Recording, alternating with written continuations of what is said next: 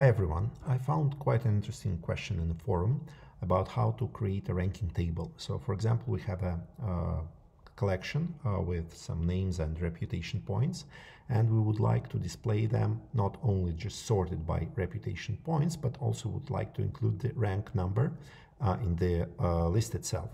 Uh, this, is not a very trivial um, task to perform.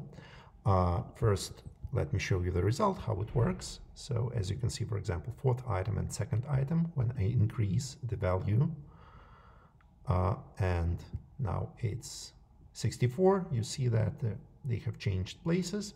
Uh, this list is sorted by value, and the rankings also have changed. So this is uh, changed dynamically. Uh, here is the challenge for this task in general. The first approach, uh, which is pretty logical at a glance, is to have the rank uh, field in the table. So let me show you an example. So for example, we have the table of um, four entries. There we have values and we have ranking fields, and this is easily displayed in Adalo.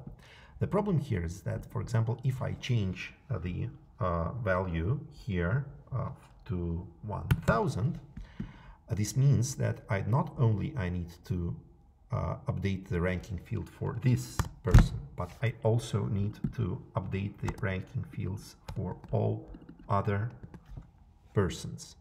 And as you can imagine, uh, it's not easy to do it in Adalo itself, uh, and you may need to use some external services to do that, which is quite uh, mm, could be quite cumbersome. So uh, the approach could be a little bit different. So let's just think that we don't have any rank uh, rank uh, fields in the collection. I will delete this totally. Uh, let's change it back like this. So let's think what is ranking in general. So uh, this one is first, second, third, and fourth. So in fact, for example, like let's take the, this one this entry. This is the third, has the third position in the ranking, which means that there are two more positions on the top uh, before this third entry.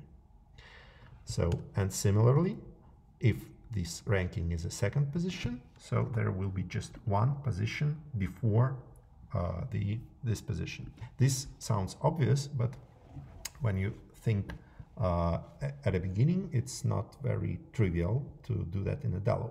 So uh, let me show how I implemented this.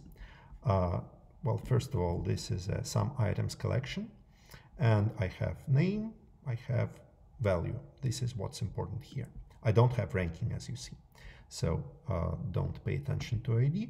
So this is the value uh, which I'm gonna use. So here I have the list of some items which are sorted by value from high to low. So as you understand, highest will be on the top. Uh, these two buttons, they just increase and decrease value. So some item value plus one and minus one.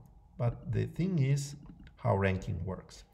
So ranking is implemented as custom formula uh, where I count all some items.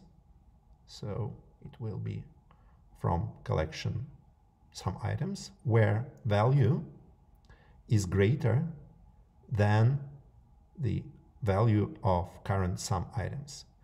So as you understand, based on this, here I count all the items, number of items, uh, where the value is greater than 50 and well it will be just one item and then I add one to this result.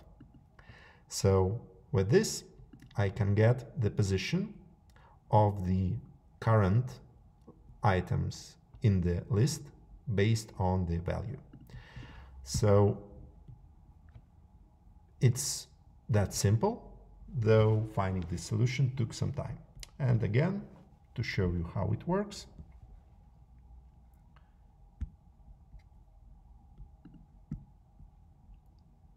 rankings.